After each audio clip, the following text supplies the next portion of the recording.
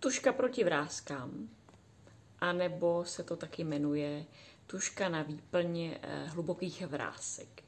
To je věc, o které dneska budeme mluvit.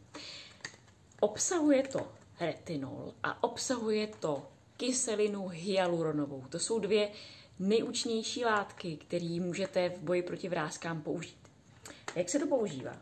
Používá se to tak, že vymačknete, je to pěkně tuhý, jo, takže mačkám, vymačknete si kousek takhle té hmoty a ona je výborná tadyhle na ty zlý mračivky.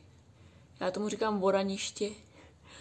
A takhle se tam zamačká. Ideálně se to dělá večer, aby už na to nepřišlo sluneční světlo. Protože sluneční světlo, světlo má tendenci e, ve spojení s retinolem dělat pigmentový skvrny. Takže když to chcete použít ráno, tak před krémem a pak se namazat UV faktorovým krémem, aspoň třicítkou, což my v Americe děláme. A dá se to mazat i sem. A sem. Hmm. A když to děláte pravidelně, tak se vám ta vrázka povolí a rozjede se vlastně ten rigol, jak, jak to máte ten rigol, tak on se jako narovná, srovná.